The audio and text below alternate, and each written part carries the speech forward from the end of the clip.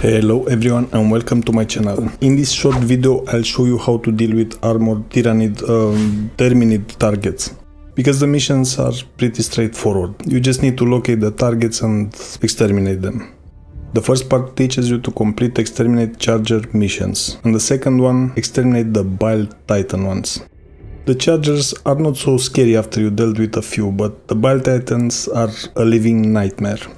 From challenging difficulty up, you start getting missions with both these enemies. Ideally, you have an expendable anti-tank, a recoilless rifle, railgun or a spear. Too bad the grenade launcher is ass against those guys, because the grenades ricochet of their chitinous exoskeleton and explode somewhere in the middle of nowhere. I wish there would be some upgrade to that weapon that makes the grenades explode on impact even if the grenade hits some bug armored part that is angled.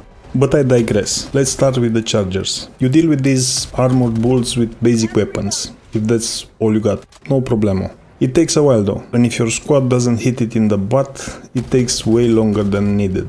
You just need to dodge their charge and plant some bullets in their butt. Rinse and repeat.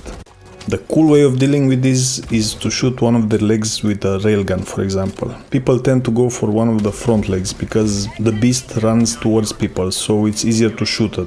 Pro tip here. If you shoot one of the legs and have a teammate nearby, shoot the one that's towards that player. Brasch tactics. But you need something to break that armor first. Underneath the armor is the Achilles heel. I mean Charger Seal. After that you can swap to any weapon and you do bonus damage when you hit his juicy meat. Autocannon sentries kill them in a couple of salvos also, but I don't really like the sentries anymore because they are destroyed even by wet fart in this game for some reason.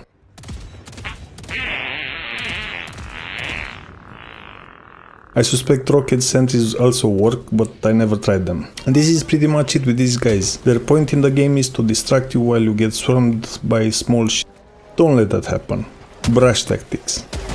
The same goes with the Bile Titans, but it's even worse, because stuff spawns around them all the time, and they are much harder to deal with. The weak spots of these guys are the yellowy green parts, the underbelly and the mouth. Everything else is heavily armored and they move a lot, so it's hard to shove a rocket or something in their mouth. This is why I love to use the railgun against them too. I know that's uh, level 20 unlock. As I said, this is the most convenient support weapon for me because I can reload it on the run, doesn't take a backpack slot and doesn't require a teammate to help me reload faster. And it's instant. Everything I mentioned uh, in the charger section also works. Expendable anti-tank, recoilless rifle and spear. I haven't used spear yet but I hear it pops the armor plates on top of the titan. Then you can one-shot it with a railgun orbital stratagem. I tend to use laser to finish it off because as I said, the Titan doesn't come alone and the laser deals with the ads after the Titan dies. It is cool that it prioritizes big targets first, so don't worry if you throw it near a lot of small bugs, it will go straight for the big guy and starts cooking him alive. So to be honest, this is it. In reality, you can only do it by the book when you open against him, because after that it becomes chaotic. Someone kites him staying at a decent range, while everyone else unloads in the weak spots and clear the swarm around the Bile Titan. If he gets to you, he will use acid spray ability, usually instantly killing you or a fast stab with one of his legs. Both his attacks can be dodged. And this is pretty much it. Now go liberate the Terminid sectors and be prepared to use every weapon at your disposal against these fellas. Thank you for watching and until next time, take care and see ya.